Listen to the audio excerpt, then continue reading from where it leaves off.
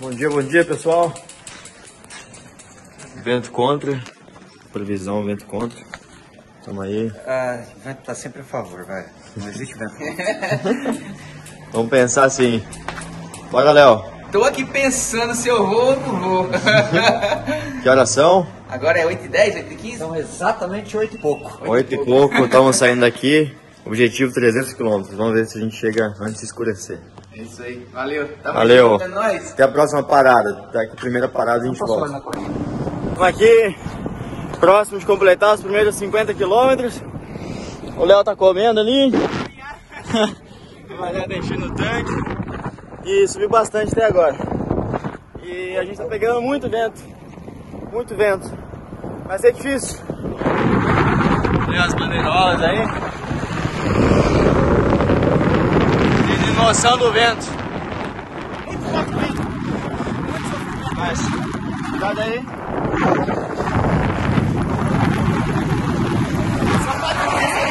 Falta 250. Vambora, muito bem, tá duro?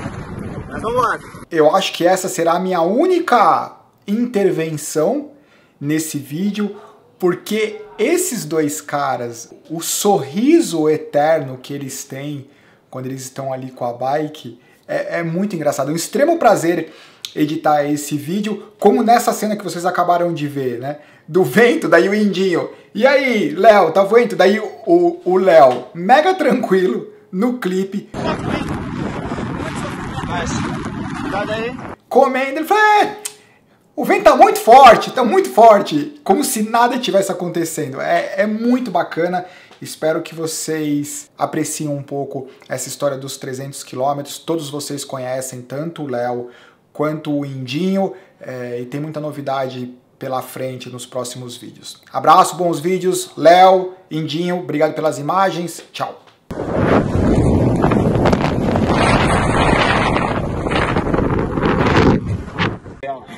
É, surpresa na estrada aí.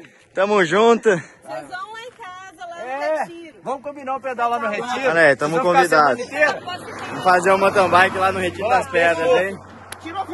Tamo combinado. Esse aí, né?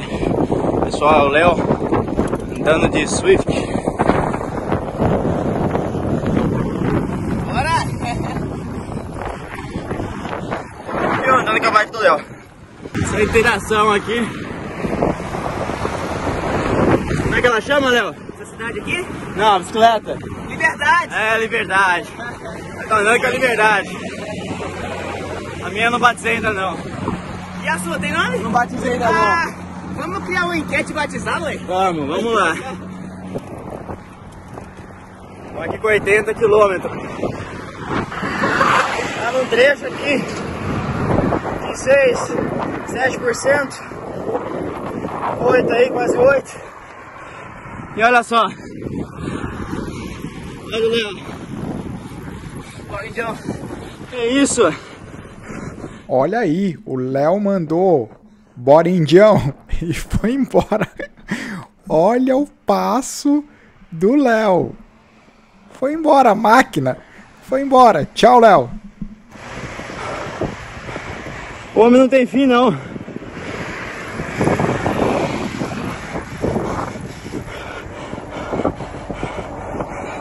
Olha o tanto que abriu. Tava no zoom. Acho que é brincadeira. O homem é bruto. Tá cinquentinha pra BH. 150 pra acabar. Olha o que nós achou aqui. Facinho, só mais 4 horas. Aí galera. Olha aí, Samuca, pessoal do Powerlink Bike. Parado aqui no meio da, da subida, quase uma serrinha. E furou o pneu, estamos com 178 km nas pernas, 5 horas e 58, quase 6 horas. E agora vamos trocar. Eu tô andando com, com a bike do Léo, tô com a sapatilha aqui de mountain bike. Ele tá com a minha sapatilha. Ele tá andando com a minha bike, uma Swift Carbon Racebox. Primeira vez que o Léo tá andando de, com uma road. E a primeira vez que eu tô andando com uma gravel. E a primeira vez já furei. troca de experiências, né? Troca de experiências. Agora vamos trocar o pneu.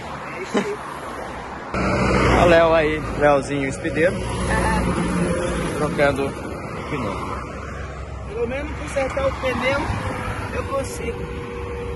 Aí, João. Isso aqui não tem fita que resista. Olha o tamanho desse prego aqui, olha. Varou o pneu varou a fita aqui também, meu filho. Olha aí. Tá doido, olha o tamanho desse negócio. Nossa. Que loucura. Bora trocar. Falta só 120, 122. Tá acabando. Esse aqui vai ser. Vai ser no, no estalo. Aqui, galera, ó. Uma dica básica do Léo. Às vezes, quando fura o pneu, muitas das vezes a gente nem procura né, o, causador, o causador do problema, que é o prego, o, o, o cabelinho de Robocop, enfim. E às vezes quem procura, quando acha um, fala assim, já encontrei, né? O, o, o, causador do problema. Mas é sempre importante que você passe a mão em todo o pneu, porque pode encontrar outro. Olha aqui, ó. Acabei de encontrar outro, ó. Tá vendo aí, ó? Mais um. É exatamente isso aí. Então passe a mão em toda a extensão do pneu.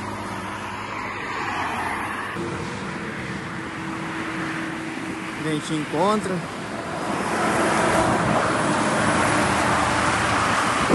Tá pra lá. Belo Horizonte.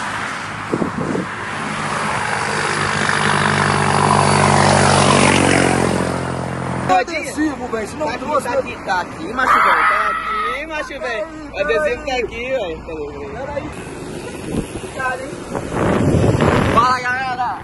Power Link Bike, última parada feita com o macarrão, o açaí e estamos indo agora para terminar. Falta 85, já tá de noite, estamos com luz, é, é, lanterna traseira também, luz traseira de vermelha para sinalização do trânsito e vamos embora! Bora! Tanque cheio e a gente tem reforço ali, ó. Tem reforço, já tá atacando, que isso? Vambora! Estamos aqui. Tem um reforço, flauta aí. Devidamente equipado para pedalar de noite. Carro da Swift aqui atrás. E vamos lá. Estamos terminando já. Comer um docinho aqui. Refletor.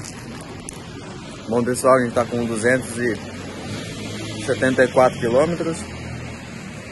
Deu uma baixa agora violento. Comer um doce pra voltar. Tá muito difícil, tá começando. A parte final aqui é, é muito complicada. O corpo vai chegando no, no limite.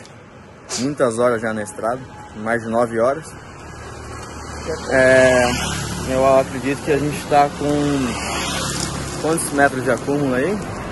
Está exatamente 3.634 metros de ganho de elevação. Em 274 quilômetros com a bicicleta Pesando de mais de 20 quilos. E A gente acha que É é isso. forte, né? Mas pega É esse isso. aqui, ó. 274 quilômetros com 3.600 e talalá de acúmulo com a bicicleta com mais de 20 quilos. E vento contra. Desde 274 a gente pegou pelo menos 230 com vento contra. Só os 40 aqui que foi a favor. Isso, é, só os 40. 235 com vento na cara, no peito.